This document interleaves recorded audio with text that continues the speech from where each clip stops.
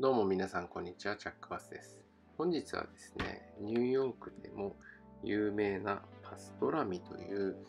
えー、にお肉と、えー、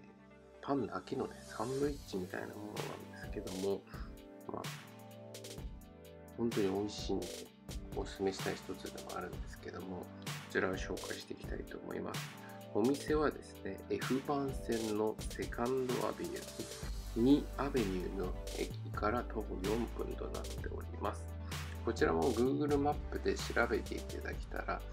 えー、お店まで路線図も出ると思いますので、そちらを参照してください。こ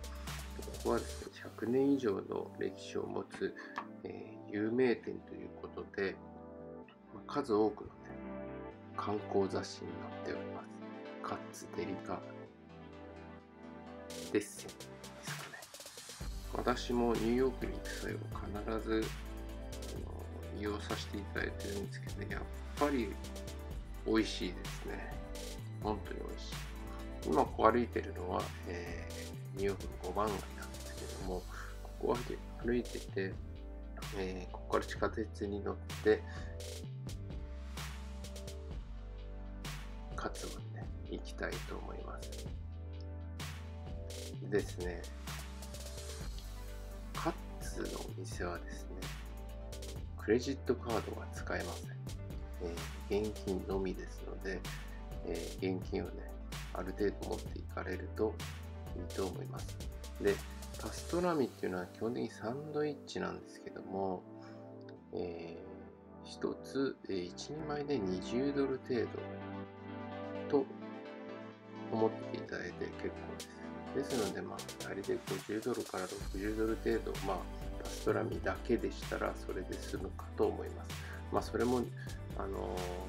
ー、時期とかによって違いますんでね、ある程度余裕を持って持っていかれることをお勧めします。あとですね、カッツは入り口でチケットを渡されます。ま、そのチケットに、えー、注文したものを店員さんがそれに記入して最後そのチケットをレジに持ってって、え、生産みたいな形なんで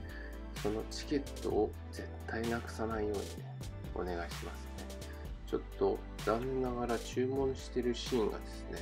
消えてしまってないので、まあ、列に並ぶんですけども列に並んで店員さんの前に着いたらもう何も考えずに beef pastrami please one please みたいな感じで大丈夫かと思います。まあ飲み物を聞かれたらまあその時々コーラなのビールなのありますのでそれを注文していただけたらなと思います。本当に美味しいんでこのお店はねニューヨークに行ったからには絶対に行ってほしい一つのお店でもあります。で、最寄り駅の近くまで来ました。で、えー、このお店は、えー、テーブル席と、えー、カウンター席っていうんですかね、自分で注文する席2つありまして、え入って左側の席は、えテーブルになっております。まあ、テーブルになっているということは、えウェイトレスの方が注文をえー、取りに来てくれるという形になりますので、そちらを利用する場合は基本的にチップが必要になります。で、えー、自分でオーダーする場合は列に並んでもらって、えー、列で、え注文して、え品物を受け取って、